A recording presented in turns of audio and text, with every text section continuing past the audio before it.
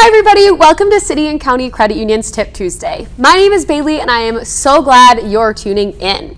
We are talking about a topic that truly gets me out of bed in the morning. I know it's a little weird, but I am known as a budgeting nerd. I will sit down with anybody to have a conversation about budgeting, whether it's over a glass of wine, a good dinner. Um, I love to talk budgeting. And especially as we get into the holidays, it's important to remain mindful of what we're spending because in our culture, we feel like we need to keep up with the Joneses. I want a new car, I want the bigger house, I want name brand this. And not that that's always bad, but it's important to be mindful as we try to think about our spending And so today I'm really excited to be talking with Teresa Thomas, who has been with us before. She is the creator of 50 Fun Things, and we're going to talk about how you can find joy and fulfillment. So, Teresa, thank you for coming back and joining us for today. And so I would love to hear more about you and 50 Fun Things. Sure. So 50 Fun Things um, I started it thinking it was just for me. So I was looking for more joy and fulfillment personally and professionally. I was trying to break some habits that I had gotten back into. I was wanting to dream bigger, have more experiences.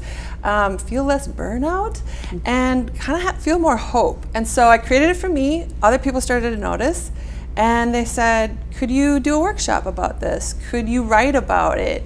could you share some tips? And so I started doing that and it took on a life of its own. So now 50 Fun Things is a workshop. It is a couple of books now and it is a workbook with tools that anybody can use um, personally and it's also being used by teams and groups um, to bring more joy and fulfillment into people's lives personally and professionally. I love it because this is a topic we need to talk more about, especially as we continue to spend more. Um, and so I would love to hear from your perspective. How can I use 50 fun things in my personal life as I'm continuing to think about my finances? What are some examples? Well, I never realized that fun and noticing what feels good to you is a huge clarity tool. Mm-hmm. And you touched upon this earlier, keeping up with the Joneses. Yes. A lot of times people approach not only their finances, but what they do for fun in terms of what other people think is fun or what other people think they should do that's fun.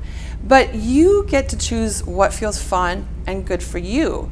And when you do that, it provides a lot of clarity about what you say yes to, which invitations you accept, which uh, traditions you continue with or change, your spending habits. Um, is it something that you really want? Is it, uh, or is it something that you think you should want? Here's an example. A lot of people think that you should want a really nice home with lots of fabulous rooms in a beautiful place. And for me, I had a, a lovely home that I enjoyed in a great neighborhood. But when my kids were adults, I realized, oh, I really value travel. So I'm in an apartment and I mm-hmm. love it because I don't have to have those big responsibilities. Mm-hmm. And it doesn't fit what other people think I should think is fun. But for me, it makes me realize, oh, I have all this freedom now. So when you identify what feels good for you, it gives you a lot of clarity and it helps you to know you know, even where your boundaries are, you know. So if you're getting invited to a lot of things over the holidays, yes. you can realize, oh, you know what, right now I need to schedule some downtime and I'll see these people in another way. So it, it's a really good guidance tool when you get in tune with what you really want. And well, and especially around the holidays because there's always something, right? There's always a holiday party. There's always, you know, can you make this for this meal? And, and it's great to narrow down what you should spend. And so I'm throwing a a surprise question at you because I am curious. Gift giving is such a big part of the holidays, and now that we're going into Thanksgiving and we're thinking Black Friday shopping and then Christmas, I know this is designed really for you, but how do you also carry that through to the gifts you're giving other people? Sure. Well, that is a great point, and everybody's going to have their own circumstances.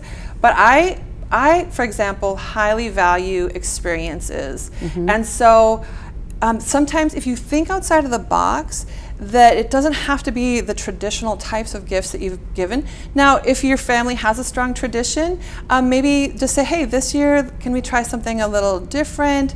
Uh, would you be open to, you know, having experiences together, for example? So play with it and see what's, what's possible.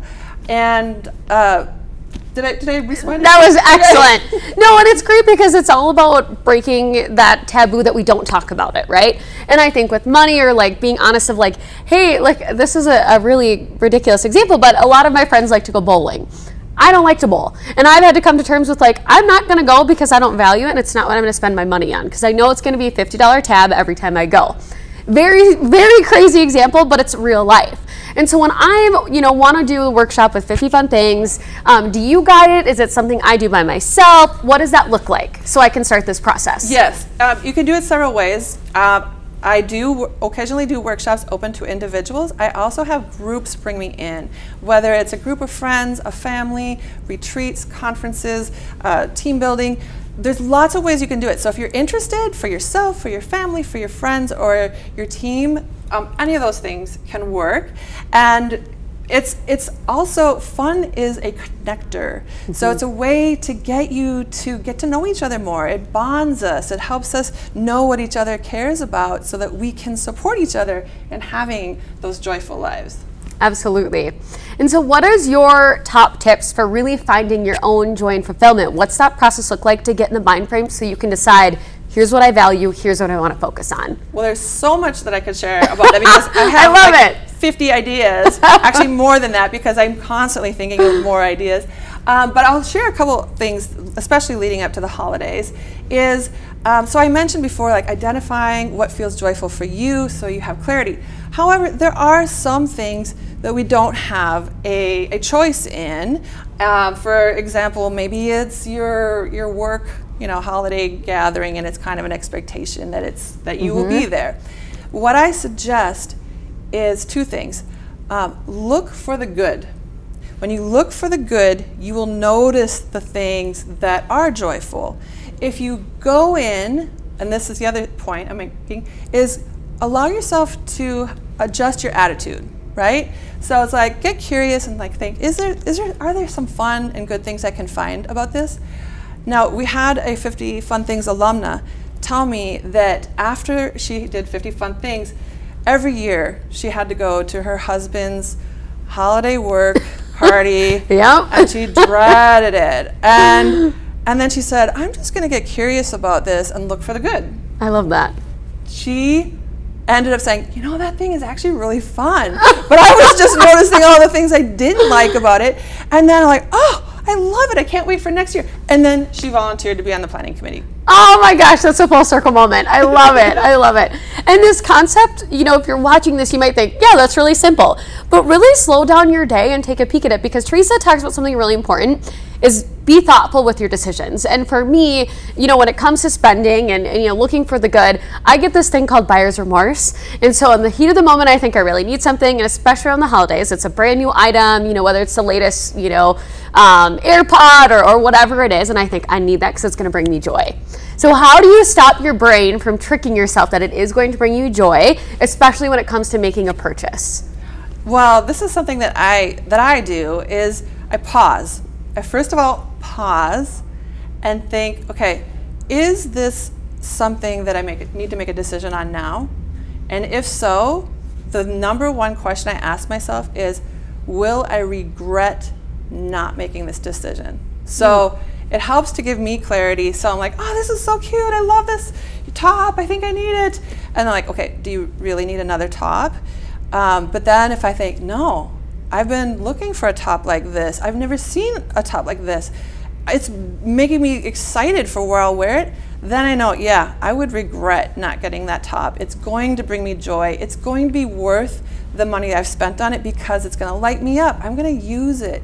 If it feels like, well, so and so thinks that I should probably get this, or everybody else has this, or yeah, I, it, it's expensive, but yeah, I'm just going to get it sometimes those things you can just put on pause and ask yourself, will I regret not getting this? Will this make my life better?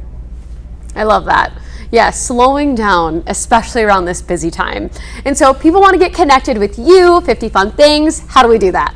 Well, super easy. Just go to 50funthings.com, the number 50, and you will see blog posts by former participants about how they've used 50 fun things, so some inspiration. And then you'll also see ways to connect with the tools and the workshops and and myself. So yeah, check it out, and I'm excited for how you're opening how the city and county credit union is really uh, focused on helping their members to feel that sense of connection, community, and joy tied to their finances and their well-being. Oh, thank you so much for being here because you just sealed the deal perfectly with the bow. Um, because, you know, for you as a member watching this, we do have a ton of great resources. Um, whether you're starting to plan your gift list, you know, we have a great worksheet that you can do to say, who am I buying for? What am I going to, you know, purchase for them? Did I buy it? Yes or no? Keep it simple. And then, you know, in connection with Teresa here, you're really going to have the best holiday season that doesn't just impact your spending for now, but also as you go into the new year.